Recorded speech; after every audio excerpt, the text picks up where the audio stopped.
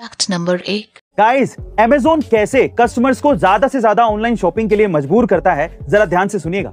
आज इंडिया में लाखों लोग ऐसे हैं जो ऑनलाइन शॉपिंग के लिए अमेजोन की प्राइम मेंबरशिप लेना प्रेफर करते हैं। क्योंकि अमेजोन अपनी प्राइम मेंबरशिप के साथ एक साल के लिए फ्री और fast delivery prime video prime music prime reading और एक्सक्लूसिव डिस्काउंट्स जैसे कई बेनिफिट्स देता है।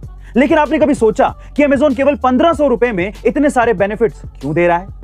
दरअसल अमेजोन आपको ट्रैप कर रहा है। क्योंकि अगर एक बार आप प्राइम मेंबर बन जाते हैं तो आपका माइंड अपने आप ही उन पंद्रह सौ रुपए से मिलने वाले बेनिफिट्स को ज़्यादा से ज़्यादा इस्तेमाल करने के लिए सोचता रहता है। और इन्हीं बेनिफिट्स का फ़ायदा उठाने के चक्कर में आप सिर्फ़ एमेजोन से ही शॉपिंग करते रहते हैं। और बाद में पता चलता है कि एक प्राइम मेंबर ने नॉन प्राइम मेंबर की तुलना में तीन गुना से ज़्यादा शॉपिंग कर ली, यानी कि खर्च कर दिए। गाइज़ अब तो आप समझ गए होंगे कि असल में फ़ायदा कौन उठा रहा है। नंबर दो कई साल 2014 में गूगल ने नेस्ट लैब्स नाम की कंपनी को 3.2 बिलियन डॉलर्स में खरीद लिया था। और जैसे ही इसकी खबर लोगों को लगी, लोगों ने गलती से स्टॉक मार्केट में नेस्ट लैब की जगह इससे मिलते जुलते नाम वाली एक कंपनी नेस्ट पर इन्वेस्ट कर दिया। और इस चक्कर में इस नेस्ट कंपनी का शेयर 1900 प्रतिशत से बढ़ गया। जबकि यह कंपनी वो थी जिसे गूगल ने खरीदा ही नहीं था।